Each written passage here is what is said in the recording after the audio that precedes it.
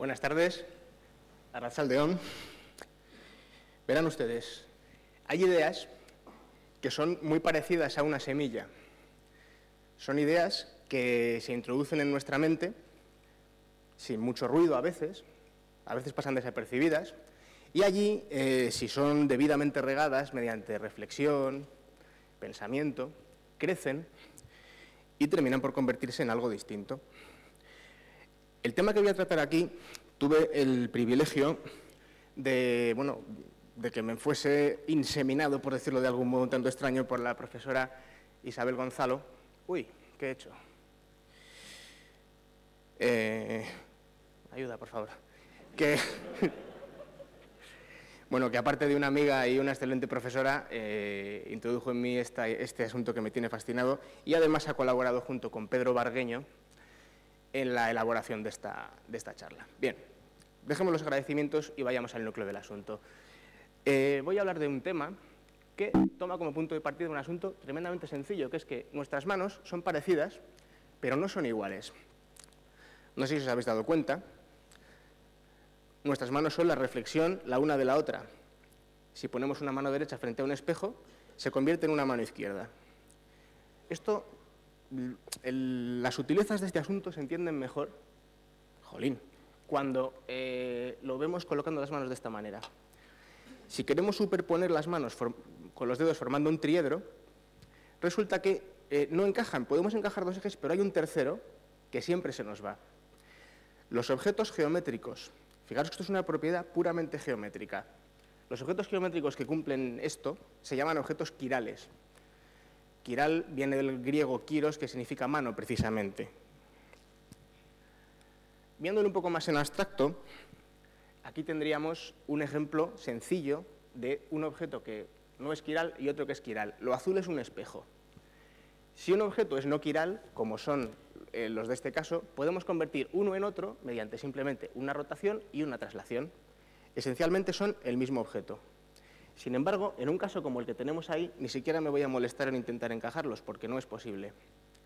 Esos objetos son esencialmente distintos, a pesar de que son muy, muy parecidos. ¿Qué tiene que ver esto con la física cuántica o con la estructura de la materia? Pues que hay moléculas que son quirales. Aquí vemos dos ejemplos. Tenemos eh, la alanina levógira y la alanina destrógira. Son esencialmente iguales, simplemente es como si hubiésemos puesto un espejo en medio. En vez de levógira y destrógira, yo voy a decir zurda y diestra, que son conceptos, creo, más cercanos y, en fin, no dan, no dan tanto miedo. Bien, ¿y esto qué, qué importancia tiene? Pues aquellos de ustedes que sepan algo de bioquímica, que seguramente serán muchos, sabrán que la bioquímica se parece mucho a la construcción de puzzles. En bioquímica, la forma de las moléculas es de vital importancia, porque, hablando pronto y mal, puede hacer que unas moléculas encajen con otras o que no encajen unas con otras. Lo curioso es que las propiedades físicas de estas dos moléculas son esencialmente iguales. Tienen la misma masa, tienen la misma composición, y un largo etcétera de propiedades comunes. Aquí llega lo interesante y esto es lo que a mí realmente me fascina. Si nosotros sintetizamos, por ejemplo, glucosa en el laboratorio, simplemente, por así decirlo, mezclando los ingredientes, lo que vamos a obtener es una mezcla de glucosas diestras y glucosas zurdas. Sin embargo, si acudimos a la naturaleza, por ejemplo, en la hoja de un árbol, vamos a encontrar que todas y cada una de las moléculas de azúcar, de glucosa, perdón, de ese árbol, van a ser diestras. Aún hay más. Em, bueno, una forma evidente, si nosotros queremos asegurarnos de obtener glucosa diestra, la manera más fácil es cogerla de la naturaleza. ¿Queréis azúcar diestra? Pues cogerla de azúcar de caña. Va a ser diestra, no queda más remedio. ¿Por qué? por el mero hecho de que esa planta procede de otra planta, su planta madre, por así decirlo, que también era diestra, y como a fin de cuentas la, reproducción es un fenómeno bioquímico complejísimo, pero bioquímico al fin y al cabo, va a dar lugar a la reproducción de estos patrones. La mayoría de los aminoácidos, por ejemplo, son zurdos. Bien, os decía que muchas veces estas ideas entran sin hacer mucho ruido en nuestra cabeza y no nos damos cuenta de la potencia que tienen. Este fenómeno de las glucosas diestras se produce en todos los seres vivos. Lo que estoy diciendo es que mis glucosas son diestras, pero también las de cada uno de ustedes son diestras. Los peces que hay en el río también tienen glucosas diestras, incluso estas plantas que hay aquí delante tienen glucosas diestras. No sé si lo veis, pero esto nos está hablando muy a las claras de un antepasado común. Tenemos aquí ante nuestros ojos un indicio muy claro de la teoría de la evolución, sin necesidad de esperar millones de años, ni siquiera de pensar en ellos.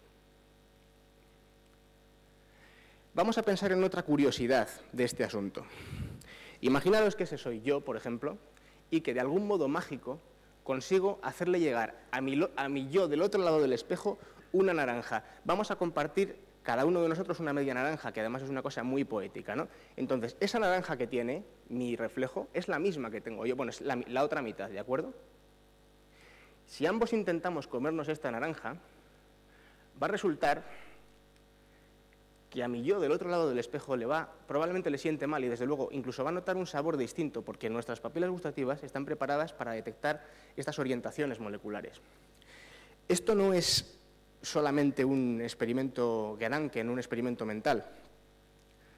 En los años 60 sucedió un caso bastante desastroso con un medicamento llamado talidomida que se fabricó sin tener en cuenta los problemas de la quiralidad. Simplemente se juntaron los ingredientes y aparecieron un 50% de formas diestras y un 50% de formas zurdas. Se recetaba como un medicamento para las náuseas durante el embarazo. La forma diestra efectivamente curaba las náuseas contra el embarazo, pero la forma zurda causaba ni más ni menos que malformaciones gravísimas en el feto. Por supuesto, desde aquel escándalo, porque no se le puede llamar de otra manera, la industria farmacéutica tiene muy en cuenta el fenómeno de la quiralidad. Bien, estamos acostumbrados a, escuchar misterios de todo tipo en televisión, ovnis, eh, fantasmas y un largo etcétera de, locuras, en mi, opinión.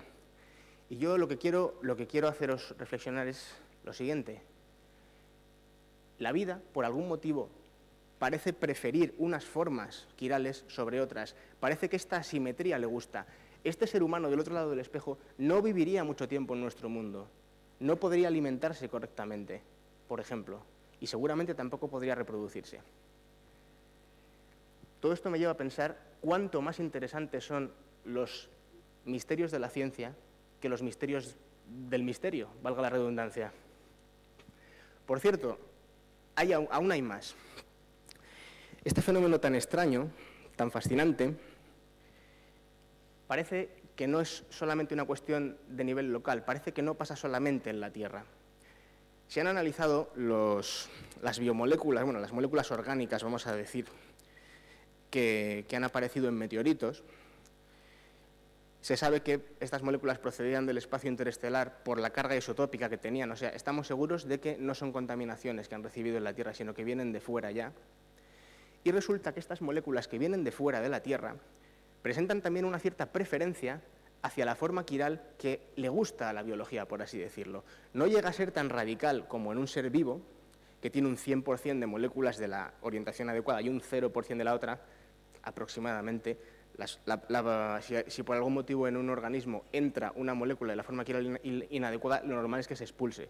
De hecho, incluso se pueden utilizar para datar la fecha de la muerte de un, no es muy preciso, pero se puede hacer. Se puede datar la fecha de la muerte de un organismo por la cantidad de moléculas em, antipáticas a la vida, digamos, que, que contiene. El caso es que estos meteoritos contenían una proporción de todas aquellas moléculas quirales, que por ejemplo los azúcares suelen ser diestros y en los aminoácidos suelen ser zurdos, siempre en todos los meteoritos que se han analizado y que se ha llegado a un resultado concluyente, se ha encontrado una mayor proporción de la molécula preferida por la vida. Esto es fascinante.